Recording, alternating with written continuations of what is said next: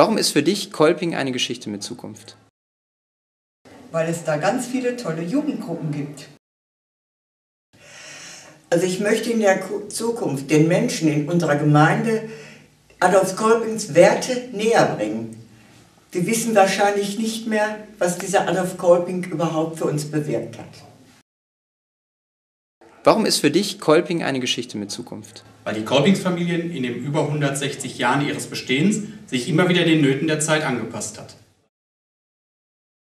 Weil sie auf der Grundlage der frohen Botschaft Jesu Christi beruht.